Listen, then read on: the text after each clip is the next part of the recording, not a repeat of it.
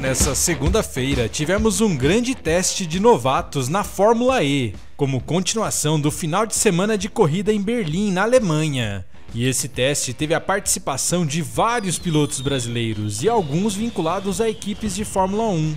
E depois desse dia finalizado, o mais rápido foi o piloto reserva da Ferrari, Robert Schwartzman, que liderou tanto a sessão da manhã como a da tarde, fazendo excelentes tempos e mostrando uma pilotagem bastante consistente.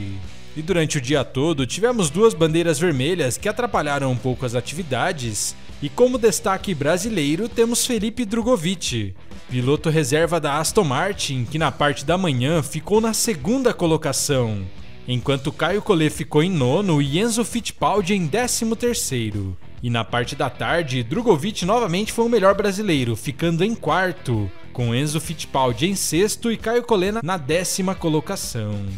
Esse teste não valia nada e é apenas uma oportunidade das equipes da Fórmula E analisarem novos talentos para as próximas temporadas, com os pilotos tentando se aproveitar dessa situação para chamar a atenção, não só pensando na Fórmula E, como também em outras categorias como a Fórmula 1.